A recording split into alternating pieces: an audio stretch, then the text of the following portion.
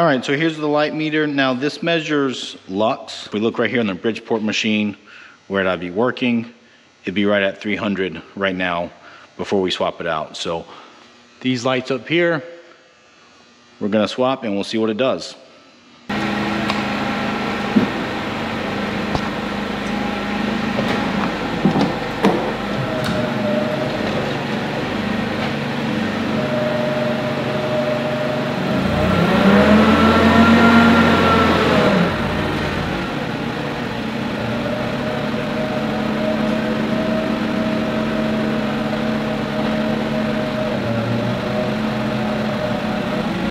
All right, he's going over there to flip the switch and see what happens.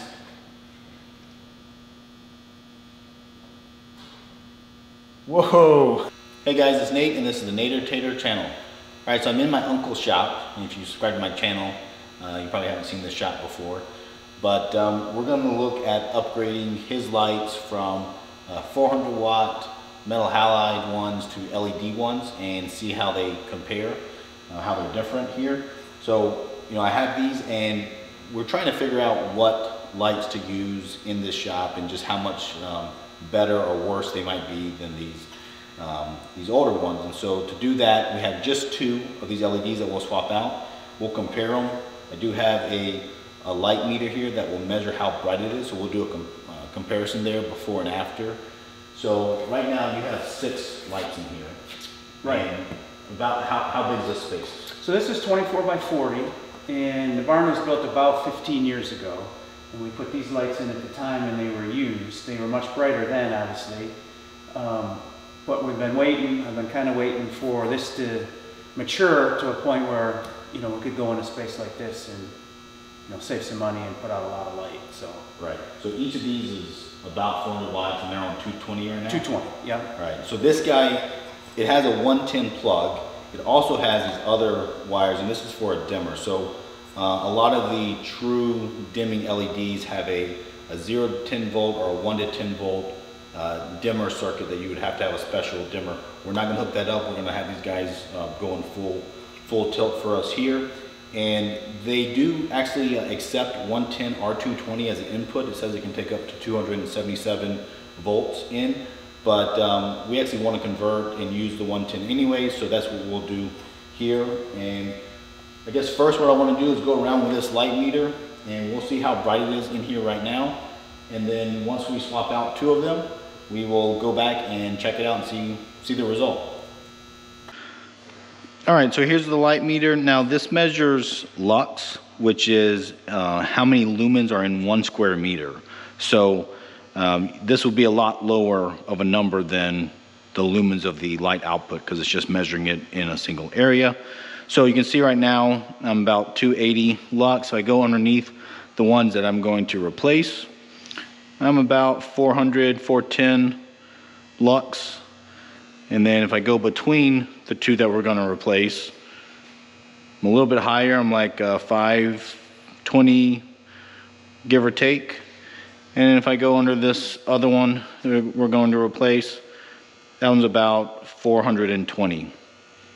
And then what you'll see is if we go away from those lights, it gets less um, lux, obviously. So looks like we're in the middle 300s here. If I go over to this corner behind the Bridgeport, we'll see it'll drop down to like 170, 180.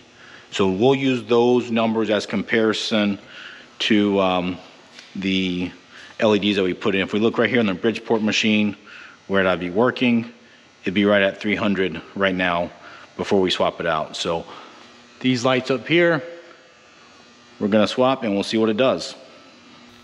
All right, so to install it, they have a couple options. One is um, you can th thread in this hook here, directly to the top here.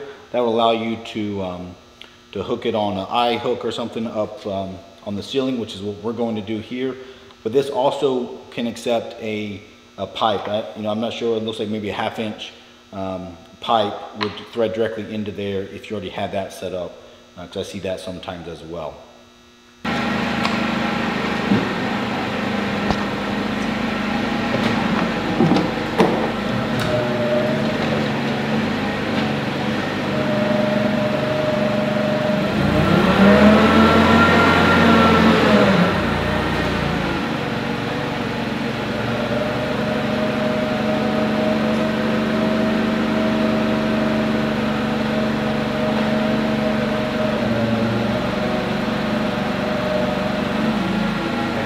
little bit more. A bit more.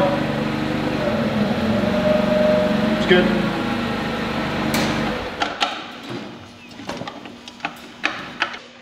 All right, so I'm just disconnecting these guys and popping them off. You can see they're just on an eye hook as well. So it's actually uh, pretty straightforward.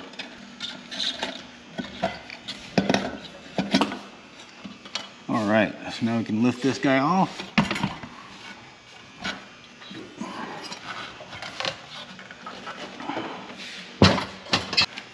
All right, so since this one was just a straight, um, straight wire, we're gonna put these little connectors on, which will give us a 110 female plug that we can uh, plug in. All right, so now we got this plug in on it. We'll tuck it up a little bit higher in the ceiling there. And now I can put on this LED guy.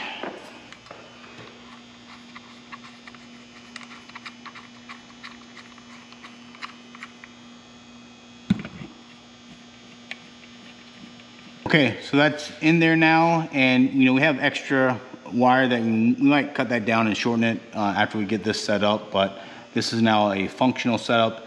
Only took um, you know a couple minutes to really do that. So uh, let's get to the next one.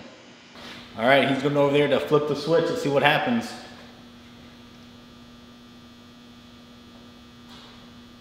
Whoa! That's some light.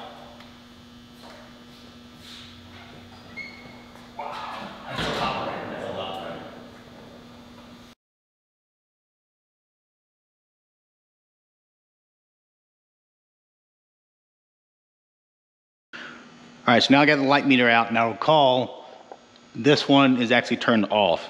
But over here, underneath this guy, you can see I'm at 1230 or 50.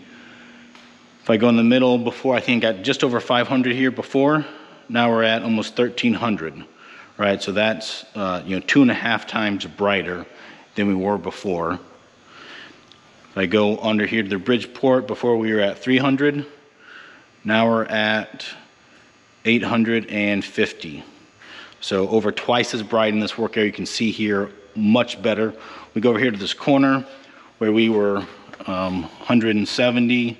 Looks like we're still about 170 because this gets uh, shadow by that uh, overhead light. I guess we're a little bit higher too, 250.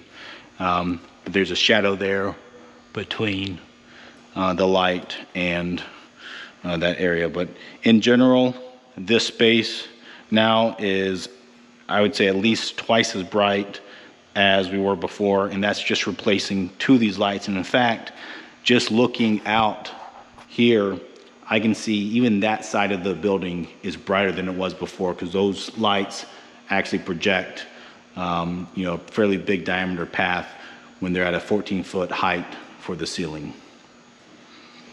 All right, so now we're in here. The only two lights we have in this entire 20 by 40 foot section is the two LED ones that are in there. And honestly, it seems almost as bright as it was before um, with all six of these. You know, they are aged uh, metal halide and you know, they do have a depreciation over time where they lose brightness. And these probably had, you know, uh, less brightness uh, for sure, like 60% or something of their full brightness.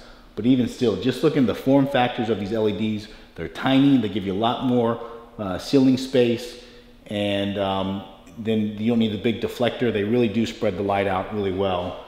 And uh, obviously they're way more energy efficient as well. These burn 150 watts claimed, and then that's 200, or sorry, 22,500 lumens of light is what they um, advertise.